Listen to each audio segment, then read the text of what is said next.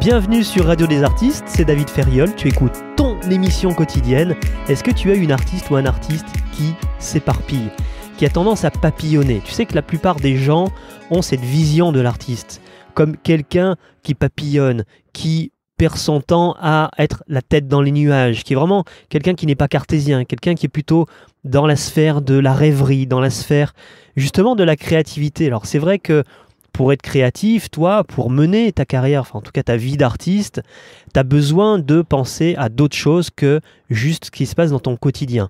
Tu as besoin de nourriture à l'extérieur de cette sphère quotidienne-là pour nourrir ton art, pour nourrir ta réflexion, tes réflexions et ta perception du monde, et pouvoir la communiquer au mieux à travers tes œuvres, et donc faire le cadeau de qui tu es à travers tes œuvres à ton public. Et il est sûrement une grande difficulté pour toi qui est celle d'arriver à rester focalisé, c'est-à-dire d'arriver à te concentrer d'une manière telle que tu puisses avoir les résultats que tu espères.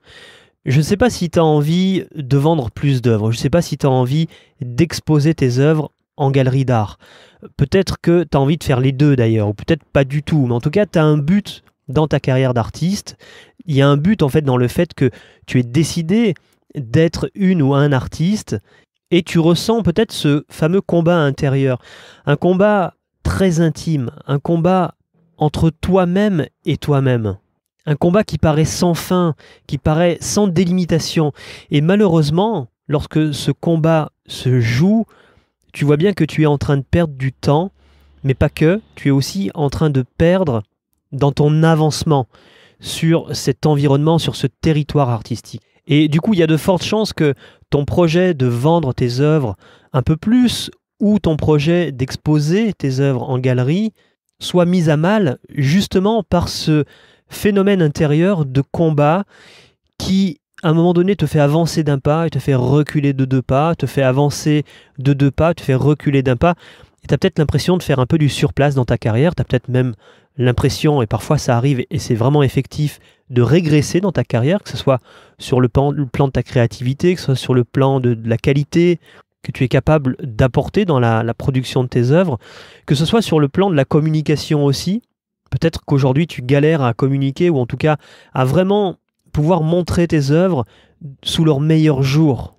Que ce soit de les montrer en réel auprès d'un public directement ou que ce soit de les rendre visibles via Internet. J'expérimente ce combat intérieur là en ce moment et c'est pour ça que j'avais envie vraiment d'en parler avec toi aujourd'hui parce que je sais que ça peut t'aider aussi sur, cette partie-là. Tu sais que je fais une émission chaque jour de Radio des Artistes, je fais des vidéos de manière moins régulière. Euh, je crée des formations spécifiques pour aider les artistes à développer leur carrière. Et j'accompagne aussi des artistes dans leur carrière professionnelle, donc pour développer leur carrière professionnelle en accompagnement individuel et en accompagnement de groupe. Alors c'est vrai que ça fait beaucoup hein, en termes d'activité. Bah, comme toi, tu as à gérer plein de choses dans, ton activité. Euh, le plus important est d'avoir une ligne conductrice, c'est-à-dire d'avoir une colonne vertébrale, d'avoir un pourquoi. On en avait déjà parlé il y a quelque temps à travers les émissions, de définir ce pourquoi. Pourquoi est-ce que tu es artiste en fait? Quel est le truc qui te fait lever tous les matins Qui te fait lever même lorsque tu as 42 fièvres et que t'en peux plus, quoi, que tu es complètement euh, hors de tout, mais tu as une telle pulsion qui provient de l'intérieur qu'elle te pousse, qu'elle te lève du lit et qu'elle te fait aller créer tes œuvres. Ce pourquoi, moi je l'ai, euh, il est alors il est déterminé de plusieurs manières. Euh, aujourd'hui, je vais en parler sous la facette de d'aider les artistes, puisque mon pourquoi, c'est d'aider l'artiste à s'épanouir. Tu sais que je suis réveilleur d'artistes. Alors il y a plusieurs sphères évidemment de l'artiste. Donc j'essaye de vous aider de manière sur votre côté professionnel, j'essaie de, vous aider euh, sur votre motivation, j'essaie de, vous aider et de t'aider toi directement sur le plan stratégique, sur le plan, aussi de la visibilité, puis donc des trois piliers dont on parle régulièrement à travers les émissions, de ta visibilité, de ta notoriété et de tes ventes. Mais on va dire, le grand pourquoi derrière tout ça, c'est vraiment d'arriver à aider les artistes. Parce que euh, je sais que vous faites partie d'une partie de la population qui peut vraiment arriver à faire changer les choses en bien dans cette société. Et en même temps, je sais que vous êtes considéré, à mal d'ailleurs, comme une minorité et ce qu'on peut voir, c'est qu'aujourd'hui, les artistes reçoivent très peu d'aide. Et finalement, tout ce que je fais tous les jours, c'est-à-dire faire du coaching, enfin de l'accompagnement en individuel, en groupe, euh, enregistrer ses émissions, enregistrer des vidéos de temps en temps, euh, créer des formations, accompagner aussi les membres dans l'art class, puisque je le fais aussi de cette manière-là. Tout ça demande beaucoup de travail, énormément de travail, mais c'est faisable pour moi parce que euh, tout est centralisé autour d'une colonne vertébrale. Donc le pourquoi, ton pourquoi est très très très important pour que tu puisses arriver à continuer ce que tu fais et à ne pas dépendre de ta motivation. Maintenant, ça suffit pas ça suffit pas, et c'est aussi ce, que je veux partager avec toi aujourd'hui, parce que tu as vu que ces derniers jours, il n'y a pas eu forcément une émission tous les jours. Alors de temps en temps, j'essaye de les rattraper, c'est-à-dire d'en faire deux par jour pour qu'il y ait bien le nombre que je m'étais fixé depuis le début, d'en faire une par jour. Mais hier, par exemple, j'ai pas fait d'émission. Et pourquoi j'ai pas fait d'émission? Malgré le fait que je connais mon pourquoi, et mon pourquoi est vraiment ancré en moi. Il se trouve que c'est d'une certaine manière par manque de rigueur. Euh, moi, je suis vraiment, j'ai un profil d'artiste, donc j'ai tendance à m'intéresser à trop de choses, on va dire, à beaucoup, beaucoup de choses. Bon, c'est aussi ce qui me permet de faire des ponts entre divers domaines et de pouvoir euh, enrichir les contenus que j'apporte aux artistes aussi. Euh, si j'étais juste un artiste, j'aurais une vision très cloisonnée de mon monde artistique et je pourrais pas aujourd'hui aider les artistes d'une manière aussi intense et profonde que ce que je peux faire, et puis riche surtout que euh, ce que je fais aujourd'hui. Alors il y a d'ailleurs quelqu'un qui a mis un commentaire sous une des vidéos il n'y a pas longtemps qui me dit ouais mais David, t'aides les artistes mais euh, est-ce que toi tu vis de ton art? Euh, Si j'étais juste un artiste qui vivait de mon art, je ne pourrais pas t'aider aussi bien que ce que je fais aujourd'hui. Je lui ai répondu que finalement un modèle qui fonctionne pour un artiste ne fonctionnera pas pour tous les artistes. Et la seule façon de vérifier ça, c'est de l'expérimenter dans sa vie. Maintenant, pour en revenir à qu'est-ce qui fait que finalement, même si tu as un pourquoi très fort en toi, que tu sais pourquoi tu crées, pourquoi tu te retrouves dans des situations où tu perds du temps sur des choses sur lesquelles tu devrais peut-être pas forcément perdre ton temps et tu es moins effectif sur des choses dont tu sais que ça pourrait vraiment te donner des, résultats ou ça t'a déjà donné des résultats dans ta carrière d'artiste, vraiment pour le développement de ton activité artistique? Ce que je peux apercevoir dans ma propre vie, c'est qu'il y a un moment donné où il y a un décrochage.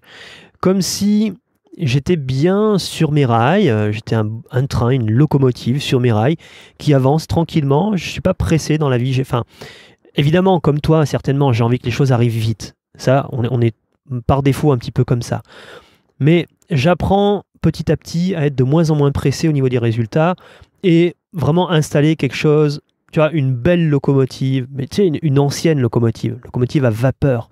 C'est-à-dire quelque chose de beau. C'est ce que j'essaye de faire, quelque chose de beau, de consistant, qui est de qualité, comme on faisait les anciennes locomotives à vapeur qui étaient juste magnifiques, des, pour moi des, des œuvres d'art pratiquement. Et j'avance tranquillement, mais sûrement, et à un moment donné, malgré tout, je me rends compte qu'il y a un petit caillou comme ça qui peut faire dérailler cette locomotive. Et effectivement, elle déraille un petit peu, ou elle prend, paf, euh, d'autres rails pendant un petit moment, jusqu'à revenir pendant un, ça, ça met un, temps qui est indéfini. Hein, ça dépend vraiment de, combien de temps tu vas t'écarter finalement de ton, ta vraie route, de ta colonne vertébrale. Et après, cette locomotive revient sur ses propres rails. D'où l'importance de travailler sur une planification, et c'est là que je voulais en venir pour t'aider sur cette partie, c'est d'arriver à te dire, voilà, moi, j'ai identifié, là, je sais ce sur quoi je dois travailler maintenant pour avoir des résultats. Tout ce qu'il y a à côté, ok, c'est séduisant, ok, j'ai envie de le faire, ok, ça serait génial, mais pour l'instant, j'ai besoin de faire ça. Je le note sur ma feuille et je le planifie dans le temps. C'est-à-dire, ok, je sais que c'est ça que je dois faire, donc c'est ça que je dois atteindre. Je le marque sur mon papier. Je me dis quand est-ce que je pense jouable, faisable d'arriver à cet objectif-là. Tu, tu marques ça sur un calendrier. Tu te notes une date et tu fais un pacte avec toi. Ce pacte, c'est juste d'aujourd'hui jusqu'à la date que je viens d'indiquer. Je ne m'occupe de rien d'autre, mais rien d'autre, même si c'est séduisant, même si les sirènes viennent chanter à côté de moi, tu vois ce que je veux dire? Je ne m'occupe que de ça, que des actions qui vont me mener cet objectif, à la date que je me suis donnée. C'est une manière évidemment de squeezer un petit peu les émotions, puisque tu sais que ce qui va te faire perdre énormément de temps dans ta carrière, dans, son développement, c'est le fait que tu es, euh, tu es un petit peu pris par tes émotions. Et malheureusement, ces émotions, te... c'est un peu comme une marionnette, tu vois, tu deviens la marionnette, il y a des fils au-dessus de toi, et qui est-ce qui tient ces fils-là? Juste au-dessus des, des fils, en fait, ce sont tes émotions. Donc c'est une manière d'arriver à squeezer ces émotions-là, tu vas être tenté, évidemment, de temps en temps, tu vas vouloir euh, aller à droite, à gauche, mais essaye de te ressortir, même tu le notes sur un papier, tu le mets dans ta poche, tu l'as toujours sur toi, l'objectif que tu vises et la date que tu t'es donnée. Je te souhaite de réussir, d'arriver là où tu veux dans ta vie d'artiste, et nous on se retrouve demain pour la prochaine émission. Salut